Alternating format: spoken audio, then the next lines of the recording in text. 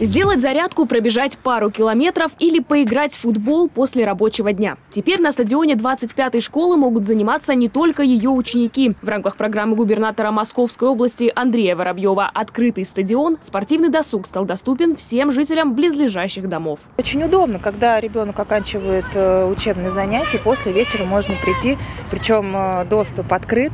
Это очень удобно. То есть в любое время, если, допустим, я задержалась на работе, могу прийти и позаниматься на данной площадке. Спортивный стадион на базе учебного заведения открывается в 6 утра и работает до 22 часов вечера. На учебный процесс такой график, говорят, в школе никак не влияет. Преимущественно люди приходят сюда заниматься до начала учебной смены, примерно с 6 до 7 утра, либо уже после 18, когда уроки давно закончились. Плюс данной программы заключается в том, что э, на территорию школы жители не попадают, когда они пользуются этой площадкой. То есть территория площадки закрыта и открыта только для того, чтобы жители, в данном случае молодежного проезда могли попасть на эту площадку. Тем не менее, у нас имеется камера, и площадка попадает в зону видимости камер этих, в том числе есть у нас камеры безопасный регион и, соответственно, освещение.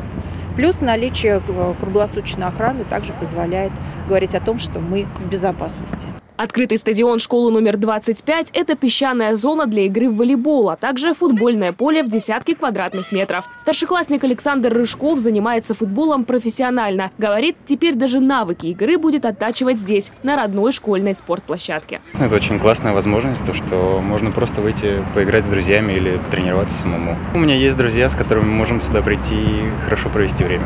О том, чтобы в Новокуркино в Химках появился открытый спортивный стадион, давно просили сами жители. Депутат Совета депутатов городского округа Надежда Смирнова поддержала идею. Просьбы активных горожан услышаны. В здоровом теле здоровый дух. И это здорово, что у нас такие стадионы в нашем округе открыты.